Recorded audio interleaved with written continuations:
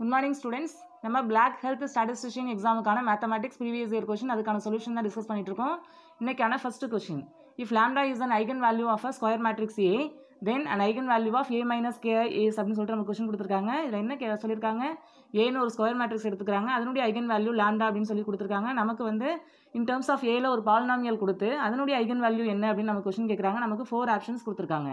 First option is lambda minus k second option is lambda plus k third option is lambda minus k and last last option is lambda plus k இப்போ இதுக்கான solution நம்ம இங்கே discuss பண்ணலாம்.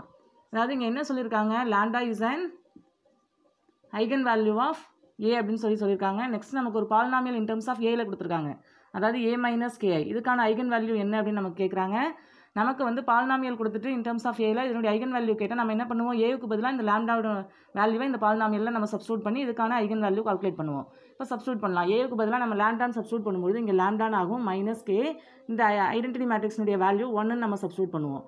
அப்போது lambda minus k I lambda minus k is and eigenvalue of A minus k அப்படிங்கிறது நமக்கு தெரியும். இப்போ நம்ம ஆப்ஷனை கவனித்தோம் அப்படின்னா சி ஆப்ஷன் தான் இங்கே கரெக்டாக மற்ற த்ரீ ஆப்ஷன்ஸும் இங்கே ராங் இப்போ இதே ப்ராப்ளத்தில் லாம்டாவுக்கு பதிலாக வேல்யூ கொடுத்து கூட நமக்கு ஐகன் வேல்யூ கேட்கலாம். ஒரு பாலினாமியல் கொடுத்து அதனுடைய ஐகன் வேல்யூ கேட்கலாம். ஒருவேளை நமக்கு கொடுக்கக்கூடிய ஐகன் வேல்யூ வந்து த்ரீ அப்படின்னு சொல்லிட்டு கொடுத்துருக்காங்க. அப்படின்னு நம்ம எடுத்துக்கலாம். அதாவது lambda equal three is and eigen value of A அப்படின்னு கொடுத்துட்டு நமக்கு ஒரு பாலினாமியல் அதாவது second degree polynomial third degree polynomial இதே போல் கூட நம்ம கொடுக்கலாம். நமக்கு இங்கே இந்த ப்ராப்ளத்தில் ஃபஸ்ட் டிகிரி பாலினாமியல் கொடுத்துருக்காங்க. நம்ம இங்கே செகண்ட் டிகிரி பாலினாமியல் கொடுத்தா இப்படி போடலாம் அப்படிங்கிறதையும் நம்ம டிஸ்கஸ் பண்ணலாம். இப்போ lambda is equal to three is an eigen value of A then A square plus three A plus two I அப்படின்னு கொடுத்துட்டு இந்த பாலினாமியலுக்கான ஐகன் வேல்யூ கூட கேட்கலாம். அப்படி கேட்கும்போது நம்ம என்ன பண்ணுவோம்? ஏனுடைய ஐகன் வேல்யூ த்ரீ இருக்கு இல்லையா? அதை நம்ம இங்கே சப்ஸ்டியூட் பண்ணுவோம். அப்போது three square plus three into three plus two two into one அப்படின்னு நம்ம சப்ஸ்டியூட் பண்ணுவோம். There four nine plus six plus two இப்போ நைன் ப்ளஸ் சிக்ஸ் நமக்கு fifteen fifteen plus two seventeen அப்போ இந்த வேல்யூ அதாவது லேண்டா ஈக்குவல் டு த்ரீ நம்ம எடுத்துக்கணும் இல்லையா? இதை லேண்டா டேஷ் அப்படின்னு நம்ம எடுத்துக்கலாம். இப்போ லாம்டா டேஷினுடைய வேல்யூ செவன்டீன் இப்போ seventeen is an eigen value of a given polynomial A square plus three A plus two I இப்போ இப்படி கூட நமக்கு ப்ராப்ளம் கொடுத்தாலும் ஈஸியாக சால்வ் பண்ண முடியும். இப்போ நம்ம செகண்ட் ப்ராப்ளம் டிஸ்கஸ் பண்ணலாம். The product of the eigen values of the matrix cos theta minus sine theta sine theta cos theta அப்படின்னு சொல்லி சொல்லிட்டு நம்ம கொஸ்டின் கொடுத்துருக்காங்க. இதில் என்ன கேட்டிருக்காங்க? Product of the eigen values of a matrix நமக்கு கேட்குறாங்க நமக்கு ஃபோர் ஆப்ஷன்ஸ் கொடுத்துருக்காங்க. First option is zero second one is ஒன்று third one is cos chi minus sines chi and last option is cos theta minus sine sine theta இதுக்கான solution நம்ம இங்கே discuss பண்ணலாம். இப்போ கிவன் மேட்ரிக்ஸை நம்ம ஏ அப்படின்னு எடுத்துக்கலாம். Cos theta minus sine theta sine theta cos theta இப்போ நமக்கு என்ன ரிசல்ட் தெரியும் அப்படின்னு சொன்னால் ஒரு ஸ்கொயர் மேட்ரிக்ஸ் கொடுத்துட்டு அதனுடைய sum of the eigen value கேட்குறாங்க அப்படின்னா sum of the eigenvalue is equal to trace of a matrix trace of trace of a matrix A அப்படின்னு நம்ம சொல்லுவோம் அதுவே product of the matrix sorry product of the eigenvalues எதுக்கு ஈக்குவலாக இருக்கும் அப்படின்னு சொன்னால் determinant of a given matrix ஏக்கு ஈக்குவலாக இருக்கும். இப்போ இந்த டூ வேல்யூஸ் எந்த வேல்யூ கேட்டாலும் நம்ம ஈஸியாக போட முடியும். Tray trace of A matrix எப்படி நம்ம கால்குலேட் பண்ணுவோம்? டயங்கலர் என்ட்ரிஸினுடைய சம் தான் ட்ரேஸ் ஆஃப் ஏ மேட்ரிக்ஸ் இங்கே நமக்கு சம் கேட்கல. நம்ம ப்ராப்ளத்தில் ப்ராடக்ட் தான் கேட்டிருக்காங்க. ப்ராடக்ட்டோட வேல்யூ என்னென்ன டிட்டர்மினன்ட் ஆஃப் ஏ இப்போ கிவன் மேட்ரிக்ஸ்க்கான டிட்டர்மினன்ட் நம்ம இங்கே கால்குலேட் பண்ணணும். Is equal to determinant of cos theta minus sine theta sine theta cos theta இப்போ இதனுடைய டிட்டர்மினன்ட் எப்படி நமக்கு எக்ஸிஸ்ட் ஆகும்? காஸ்டிட்டா இன்ட்டு காஸ்டீட்டா நமக்கு காஸ்கொயர் ஸ்கொயர் டீட்டான் ஆகும். இங்கே மைனஸ் நம்ம சப்ஸ்டியூட் பண்ணுவோம். இந்த டூ டேர்மையும் நம்ம மல்டிப்ளை பண்ணும்போது மைனஸ் சைன் ஸ்கொயர் டீட்டான் ஆகும். அப்போ இந்த டேர்ம் ப்ளஸ்ன்னு ஆகும். சயின்ஸ் ஸ்கொயர் டீட்டா அப்படின்னு ஆகும். இப்போ cos square theta plus science square theta value நமக்கு என்னன்னு தெரியும்? ஒன் அப்படின்னு தெரியும். அப்போ கிவன் மேட்ரிக்ஸினுடைய டிடர்மெண்ட் வேல்யூ வந்து ஒன்று அப்போ product of the eigen value வந்து நம்ம நமக்கு ஒன்று இப்போ ஆப்ஷனை கவனித்தோம் அப்படின்னா பி ஆப்ஷன் தான் கரெக்டு மற்ற த்ரீ ஆப்ஷன்ஸும் இங்கே ராங் இப்போ இதே ப்ராப்ளத்தில் ட்ரேஸ் ஆஃப் எ மேட்ரிக்ஸ் அதாவது sum of the eigen value கேட்டாங்க அப்படின்னா ட்ரேஸ் நம்ம கால்குலேட் பண்ணி அதனுடைய வேல்யூ நம்ம நோட் பண்ணணும். இங்கே trace of A given matrix நம்ம என்னென்னு சொல்லலாம்? Cos theta plus cos theta is equal to two cos theta இப்போ நம்ம ப்ராப்ளத்துக்கு ப்ராடக்ட் தான் கேட்டிருக்காங்க. அதனுடைய வேல்யூ நம்ம கால்குலேட் பண்ணியாச்சு. இப்போ நம்ம தேர்ட் ப்ராப்ளம் டிஸ்கஸ் பண்ணலாம். இந்த set of all rational numbers is a dash set அப்படின்னு சொல்லிட்டு நம்ம கொஸ்டின் கொடுத்துருக்காங்க. இது ஒரு டைரக்ட் ரிசல்ட் தான். அதாவது ரேஷனல் நம்பர்ஸினுடைய நேச்சர் கேட்குறாங்க நமக்கு ஃபோர் ஆப்ஷன்ஸ் கொடுத்துருக்காங்க. First option is countable second one is finite third one is uncountable and last one is finite and countable அப்படின்னு சொல்லிட்டு நமக்கு ஆப்ஷன் கொடுத்துருக்காங்க. இதுக்கான சொல்யூஷன் நம்ம இங்கே டிஸ்கஸ் பண்ணலாம். இப்போ செட் ஆஃப் ஆல் ரேஷனல் நம்பர்ஸை நம்ம எப்படி மார்க் பண்ணலாம்? Set of all positive rational union set of all negative rational union zero இப்படி நம்ம மார்க் பண்ண முடியும்? நமக்கு வந்து set of all positive rational நம்பர்ஸ்லாம் countable அப்படின்னு தெரியும். அதே போல் set of all negative rational நம்பர்ஸும் கவுண்டபிள்னு தெரியும். ஜீரோங்கிறது ஃபைனைட் செட்டு இதுவும் countable next union of a countable set is countable அந்த ரிசல்ட் படி இந்த த்ரீ கவுண்டபிள் செட்டினுடைய யூனியன் தான் rational number therefore q is a countable set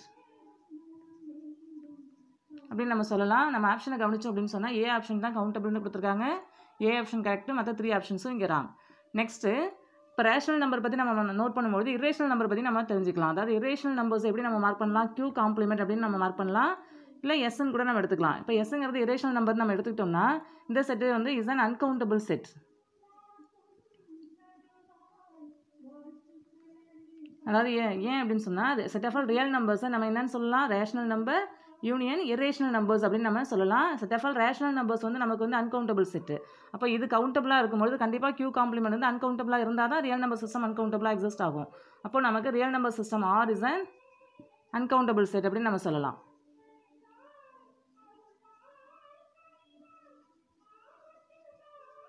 இதே போல் கூட நமக்கு ப்ராப்ளம் கேட்டு கேட்குறாங்க அப்படின்னா எக்ஸாமில் ஈஸியாக நம்ம ஆன்சர் பண்ண முடியும். இப்போ நம்ம ஃபோர்த் ப்ராப்ளம் டிஸ்கஸ் பண்ணலாம். Limit x tends to infinity one plus one by x the whole power x இதுக்கான சொல்யூஷன் கேட்குறாங்க நமக்கு ஃபோர் ஆப்ஷன்ஸ் கொடுத்துருக்காங்க. First option is zero second one is ஒன்று third one is infinity and last one is e இதுக்கான solution நம்ம இங்கே discuss பண்ணலாம். என்ன நமக்கு ஃபங்க்ஷன் கொடுத்துருக்காங்க? Limit x tends to infinity one plus one by x the whole power x இப்போ இதே போல் நமக்கு ஃபங்க்ஷன் கொடுக்கும்பொழுது நம்ம என்ன நோட் பண்ணுவோம் அப்படின்னா இங்கே கொடுத்துருக்கக்கூடிய ஃபங்க்ஷனை எஃப் ஆஃப் எக்ஸ் அப்படின்னு நம்ம எடுத்துக்கலாம். F of x is equal to one by x இங்கே பவரில் கொடுத்துருக்கக்கூடிய ஃபங்க்ஷனை ஜி ஆஃப் எக்ஸ் அப்படின்னு நம்ம எடுத்துக்கலாம். இப்போ இந்த ஃபங்க்ஷனில் இங்கே லிமிட் என்ன கொடுத்துருக்காங்களோ அதை அப்ளை பண்ணணும். இப்போ limit x tends to infinity f of x நம்ம நோட் பண்ணுறோம் அப்படின்னா அதனுடைய வேல்யூ எப்படி எக்ஸிஸ்ட் ஆகும்? அதாவது limit x tends to infinity one by x f of எக்ஸ்னா இங்கே ஒன் பை எக்ஸ் இல்லையா? இப்போ one by எக்ஸினுடைய value limit x tends to infinity apply பண்ணும்போது ஒன் பை இன்ஃபினிட்டி ஆகும் இன்ஃபினிட்டின் ஆகும் இதனுடைய value zero next limit x tends to infinity g of x இங்கே என்ன லிமிட் கொடுத்துருக்காங்களோ அதே லிமிட் தான் நம்ம அப்ளை பண்ணணும். இப்போ ஜி ஆஃப் எக்ஸ்னுடைய வேல்யூ என்ன எக்ஸிஸ்ட் ஆகும்? ஜி ஆஃப் எக்ஸுங்கிறது இங்கே எக்ஸ் அப்போ எக்ஸ்டென்ஸ் டு இன்ஃபினிட்டின்னு அப்ளை பண்ணும்போது இதனுடைய வேல்யூ இன்ஃபினிட்டி அப்போ ஒரு ஃபங்க்ஷன் வந்து ஜீரோவுக்கும் இன்னொரு ஃபங்க்ஷன் இன்ஃபினிட்டிக்கும் போகுது அப்படின்னு சொன்னால் தென் இதனுடைய லிமிட் வேல்யூ எப்படி நம்ம நோட் பண்ணலாம்? E power f of x into g of x இப்படி நம்ம மார்க் பண்ண முடியும். இங்கே f of எக்ஸுங்கிறது one by x g of எக்ஸுங்கிறது x அப்போ e e power one by x into x இப்போ இங்கே எக்ஸ் எக்ஸும் கேன்சல் ஆகிடும் இதனுடைய வேல்யூ இ e. அப்போ நம்ம ப்ராப்ளத்துக்கான சொல்யூஷன் வந்து இ நம்ம ஆப்ஷனை கவனிச்சோம் அப்படின்னா டி ஆப்ஷன் தான் இங்கே கரெக்டாக மற்ற த்ரீ ஆப்ஷன்ஸும் இங்கே ராங் இப்போ இதே ப்ராப்ளத்தை நமக்கு எப்படி கேட்கலாம் அப்படின்னா limit x tends to infinity one minus one by x the whole power x இப்படி கேட்குறாங்க அப்படின்னு சொன்னால் நமக்கு இந்த கிவன் கண்டிஷன் எல்லாமே நமக்கு இந்த ப்ராப்ளமும் சாட்டிஸ்ஃபை பண்ணும். அதாவது limit x tends to infinity one by x இதனுடைய வேல்யூ ஜீரோவாகும் அதே போல் limit x tends to infinity எக்ஸினுடைய value இன்ஃபினிட்டின்னு ஆகும். பட் இதனுடைய வேல்யூ இ பவர் நம்ம என்ன நோட் பண்ணுவோம்? F of x into g x அதாவது இங்கே எஃப் ஆஃப் எக்ஸுங்கிறது மைனஸ் ஒன் பை எக்ஸ் இப்படி நம்ம நோட் பண்ணுவோம். அப்போ மைனஸ் ஒன் பை எக்ஸ் நம்ம நோட் பண்ணுறோம் அப்படின்னா minus one by x into g of எக்ஸினுடைய value எக்ஸ்னு நம்ம நோட் பண்ணுவோம். இங்கே எக்ஸ் எக்ஸ் கேன்சல் ஆகிடும் அப்போ இ பவர் மைனஸ் ஒன் அப்படின்னு நமக்கு வேல்யூ எக்ஸிஸ்ட் ஆகும். இதை ஒன் பை இ e அப்படின்னு நம்ம மார்க் பண்ணலாம்? இப்போ இதே போல் நம்ம ப்ராப்ளம் கொடுத்தாலும் ஈஸியாக கால்குலேட் பண்ண முடியும். நெக்ஸ்ட் ஃபிஃப்த் எக்ஸாம்பிள் நம்ம இங்கே டிஸ்கஸ் பண்ணலாம். Limit n tends to infinity n plus one the whole power n divide by n power n plus one இதே போல் நமக்கு ஒரு ஃபங்க்ஷன் கொடுத்துட்டு இதனுடைய லிமிட் வேல்யூ கேட்குறாங்க அப்படின்னு சொன்னால் நம்ம எப்படி கால்குலேட் பண்ணலாம் அப்படிங்கிறதையும் நம்ம இங்கே டிஸ்கஸ் பண்ணலாம். இப்போ கவனிங்க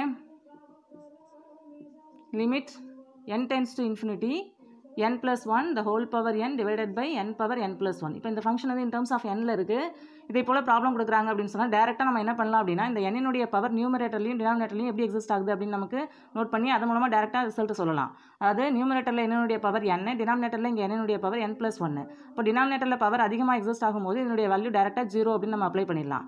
இப்போ அது டேரெக்டாக போட முடியல அப்படின்னு சொன்னால் நம்ம இப்போ சால்வ் பண்ணி கூட இதை இதனுடைய ரிசல்ட் கால்குலேட் பண்ணலாம். இப்போ கவனிங்க எப்படி சால்வ் பண்ணலாம் அப்படின்னு சொன்னால் limit n tends to infinity அப்படின்னு அந்த லிமிட் அப்படியே நோட் பண்ணிக்கிறோம். இந்த ஃபங்க்ஷனை நம்ம சால்வ் பண்ணிக்கலாம். இப்போ இந்த டூ டேர்ம்லேருந்து என்ன காமனாக வெளில எடுக்கிறோம் அப்படின்னு சொன்னால் n ஆகும். One plus one by n அப்படின்னு ஆகும். ப்ராக்கெட்டில் உள்ள டேர்ம் வந்து ஃபஸ்ட்டு டேர்ம்லேருந்து என்ன வெளில எடுத்தாச்சு ஒன்று ஆகுது.